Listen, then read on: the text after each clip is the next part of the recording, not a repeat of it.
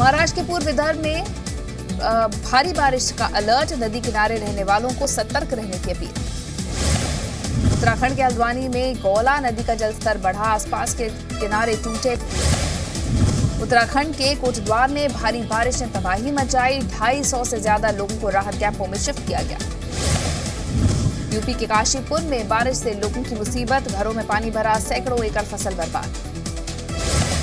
UP के बिजनौर में बाढ़ में फंसे 18 मजदूरों का रेस्क्यू, जिला प्रशासन ने बचाए सभी लोगों की जान। पानी के तेज बहाव में फंस गए थे मजदूर, रस्सी के सहारे सभी को बचाया गया।